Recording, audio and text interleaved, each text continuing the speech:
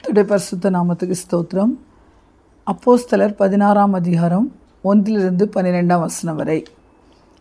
அதன் பின்பு அவன் தெர்பைக்கும் லீஸ்திராவுக்கும் போனான். அங்கே தீமோத்தேயு என்னப்பட்ட ஒரு சீஷன் இருந்தான். அவன் தாய் விசுவாசமுள்ள யூத ஸ்திரீ. அவன் தகப்பன் கிரேக்கன்.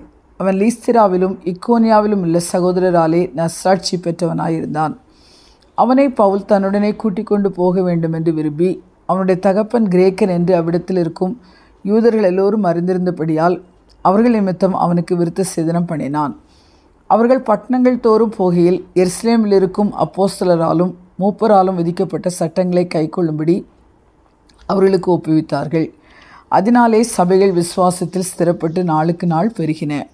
அவர்கள் பிரிகியா கலாத்தியா நாடுகளை கடந்தபோது ஆசியாவிலே வசனத்தை சொல்லாதபடி பர்சுத்த ஆவியினாலே தடை பண்ணப்பட்டு மீசியா தேசம் மட்டும் வந்து பித்தினியா நாட்டுக்கு போக பிரயத்தனம் பண்ணினார்கள்.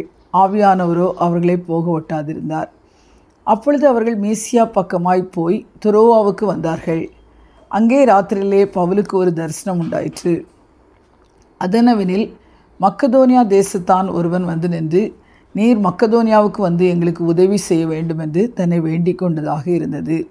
அந்த தரிசனத்தை அவன் கண்டபோது அவர்களுக்கு சுவிசேஷத்தை அறிவிக்கும்படி கத்தர் எங்களை அழைத்தார் என்று நாங்கள் நிச்சயித்து கொண்டு உடனே மக்கதோனியாவுக்கு புறப்பட்டு போக பிரயத்தனம் பண்ணி துருவாவிலே கப்பலேறி சாமோத்திராக்கே தீவுக்கும் மறுநாளிலே நெயாப்போலி பட்டணத்திற்கும் நேராய் ஓடி அங்கே இருந்து மக்கதோனியா தேசத்து நாடுகளில் ஒன்றிற்கு தலைமையானதும் ரோமர் குடியேறினதுமான பிலிப்பி பட்டணத்திற்கு வந்து அந்த பட்டணத்திலே சில நாள் தங்கியிருந்தோம்.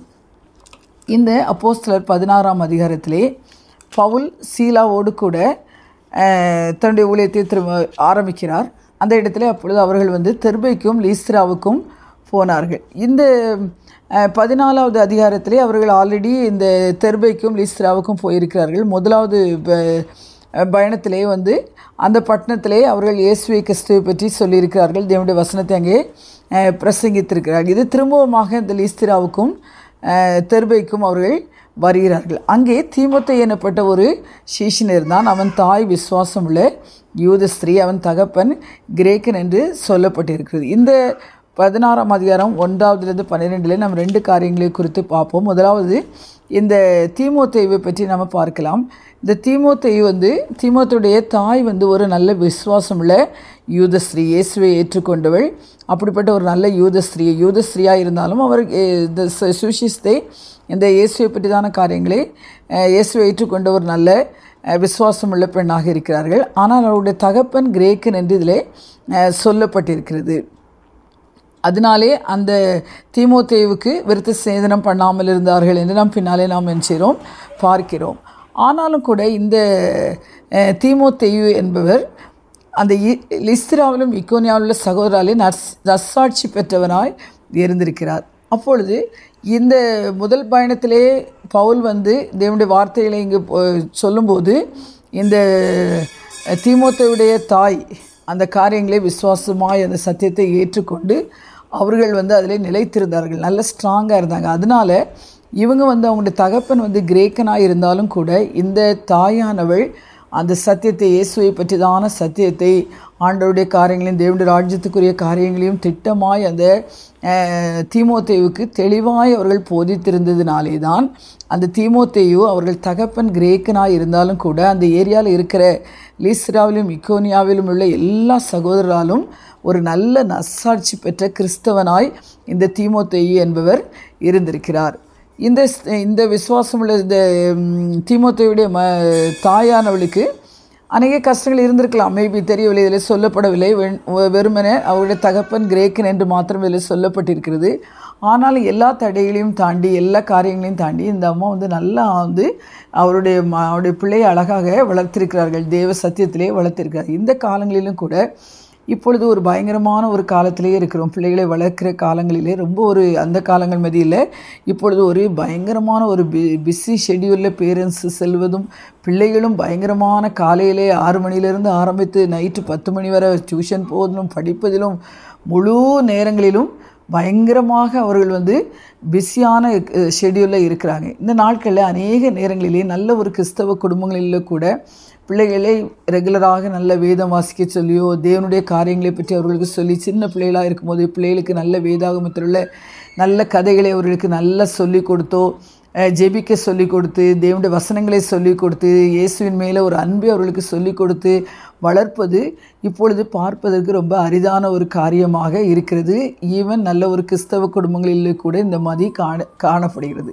ஆனால் இந்த திமுகவுடைய மதர் இந்த காரியங்களுக்கெல்லாம் முக்கியத்துவம் கொடுத்ததினாலே முக்கிய தேவனுடைய ராஜ்யத்துக்கு அடுத்த காரியங்களிலே தேவனுடைய ராஜ்யத்தை அவருடைய நீதி முதலாவது தேடுங்கள் என்று என்று சொல்லப்பட்டிருக்கிறது போல அந்த காரியங்களுக்கு முதலிலும் கொடுத்ததினாலே இந்த தீமோத்தையு அந்த நாட்களிலே ஒரு அந்த ஏரியா முழுசிலும் ஒரு நல்ல ச நசாட்சி பெற்ற ஒரு சீஷனாக இரு இருக்கிறார். பவுல் இந்த தீமோத்தேவை பார்த்த உடனே தன்னோடு அவர் அவர் தீமோத்தேவை கூட்டிக் கொண்டு போக வேண்டும் என்று விருப்பம் கொள்கிறார். இந்த தீமோத்தேயு பின்னால் பவுலோடு இணைந்து அநேக ஊழியங்களை செய்திருக்கார். பவுல் ஒரு ஒரு ட்ரஸ்டான ஒரு ஆளாக இந்த தீமோத்தேவை வைத்திருக்கிறார். அநேக அவருடைய பவுலுடைய ஊழியங்களுக்கு கூட துணையாக இருந்து இந்த தீமோத்தையும் தேவனுடைய ராஜ்யத்தை கட்டுவதிலே பவுலோடு இணைந்து கடைசி வரை தேவனுடைய ஊழியத்தை நன்றாக செய்திருக்கிறார். அதுக்கு ஒரு முக்கியமான ஒரு காரணம் ஒரு நல்ல குடும்பத்தில் பிள்ளைங்களை நல்லா நம்ம சின்ன வயசில் இருக்கும்போதே பிள்ளைகளை தேவனுக்கு எடுத்த காரியங்களிலும் ரா- தேவனுடைய ராஜ்யத்துக்கு எடுத்த காரியங்களிலும் கண்டிப்பாக நாம் போதித்து அதற்காக நாம் நேரம் செலவழித்து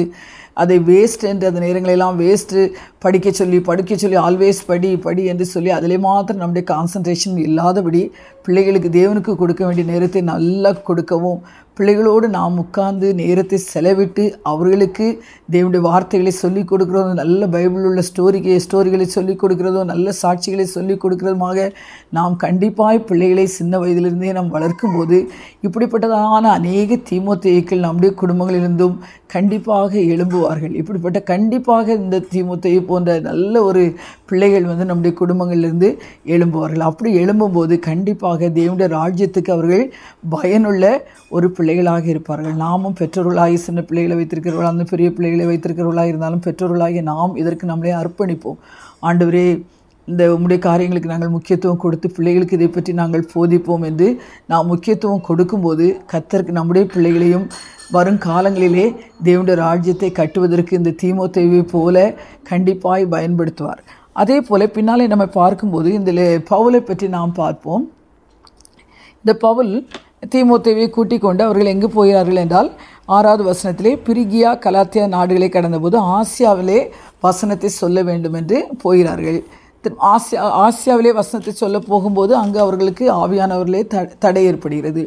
ஓகே இதை விட்டு விடுவோம் சரி அப்படின்னு சொல்லி மீசியா தேசம் மட்டும் வந்துட்டு பித்தினியா நாட்டுக்கு போகிறதுக்கு அவங்க பித்தினியா நாட்டில் போய் நம்ம ஓகே ஆசியா தேசத்திலே ஆசியா இதிலே நம்ம வந்து நம்ம வந்து தேவனுடைய வார்த்தையை சொல்ல முடியவில்லை தடை ஏற்பட்டிருக்குது என்று அறிந்து பித்தினியாவுக்கு போகலாம் என்று போகிறார்கள். அங்கேயும் ஆவியானவராலே அவர்களுக்கு அவர்கள் அங்கே போக ஒட்டாதிருந்தார்.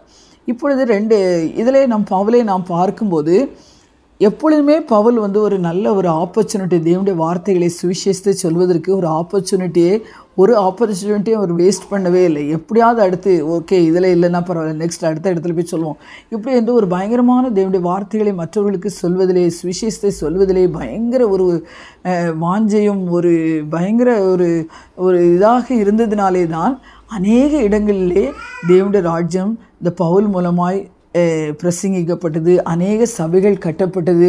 கட்டப்பட்ட சபைகளை திரும்பவுமாய் போய் பவுல் விசாரிக்கிறார். அவர்கள் தேவனுடைய ராஜ்யத்திற்கு கரைகளிலே நிலைத்திருக்கிறார்களா என்பதை பார்க்க ஒரு தகப்பனாய் வந்து ஒரு ஆவிக்குரிய தகப்பனாய் இந்த பவுல் வந்து இருக்கிறார். அதற்கு அதனால் இதிலிருந்து நம்ம எதை என்ன பார்க்கிறோம் என்றால் ரெண்டு இடங்களிலே ஆவியானவர் அவர்களை போக விடாமல் தடை பண்ணினாலும் அவர் சோர்ந்து போகவே இல்லை. அடுத்த நாள் அவருக்கு வந்து பவுல் வந்து அந்த ராத்திரிலே படுத்திருக்கும் போது கண்டிப்பாக யோசித்து கொண்டே படுத்திருப்பார். இந்த இடத்துல சுவிசேஷ சொல்ல வேண்டும் இருந்தோம் அங்கே வந்து ஒரு தடை ஆவியானவர் தடை பண்ணிட்டார் அப்படின்னு சொல்லி நான் யோசிச்சிருப்பாங்க பித்னியா தேசத்துக்கு நம்ம நெக்ஸ்ட்டு போகலான்னு பிளான் பண்ணோம். அங்கேயும் அங்கே போகவே விட போகவே முடியாதபடி ஆயிற்று.